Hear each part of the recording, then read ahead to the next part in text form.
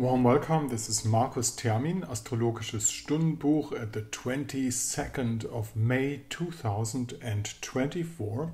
The moon is in the sign of Scorpio and the sun is in the sign of Gemini.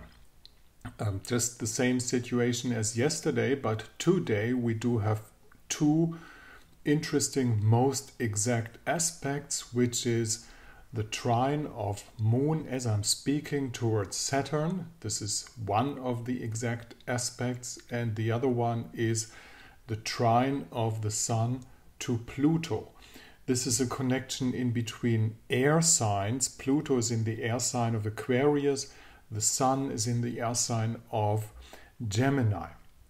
Now, of course, the whole situation is structured um, by the intensity of um, the tension of the upcoming full moon. This is going to be most important. Full moon is going to be tomorrow, uh, but it's not happening yet, and it's a pre full moon constellation.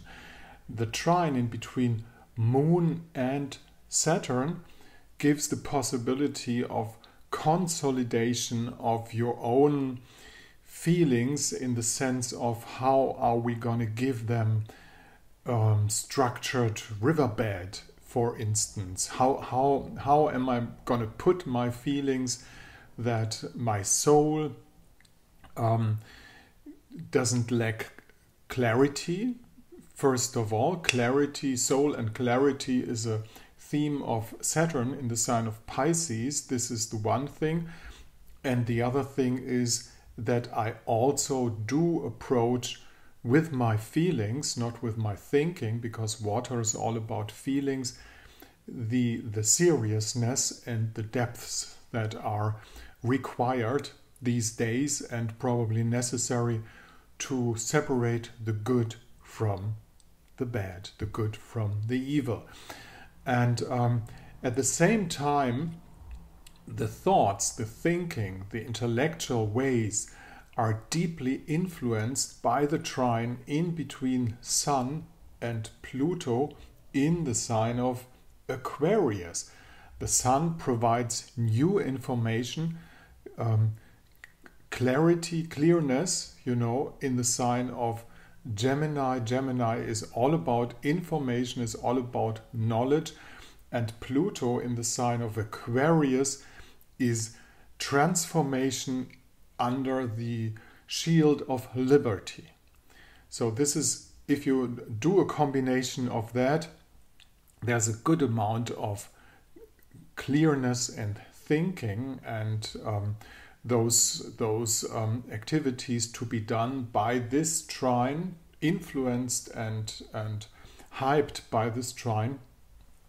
And on the other hand, its possibility to get a new inner structure to to get rid of um, for instance to get rid of uh, feelings of uh, personal hostility and um, uh, to get rid of uh, feelings of personal um, enemyship and things like that. This is very well possible in preparation towards the full moon which will provide us again with some very different energy coming up tomorrow, but that is for tomorrow. It's going to be a very important full moon. The reason is we are going to have a big number of aspects to be exact at the same time.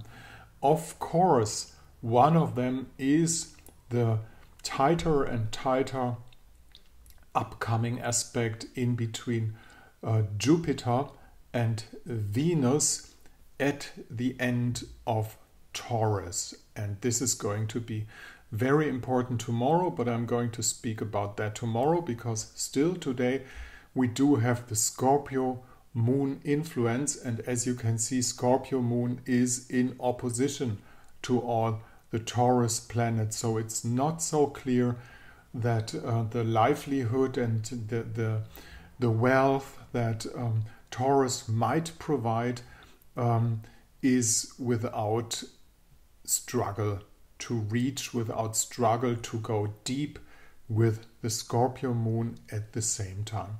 So, Uh, speaking it in one sentence, it's a day of emotional consolidation and setup of new revolutionary thinking. Pre full moon energy. Hope to see you tomorrow. This is Markus Termin at the 22nd of May 2024. In case you want to get in contact, just use the mail address up there. Mind the DE because I'm a German astrologer.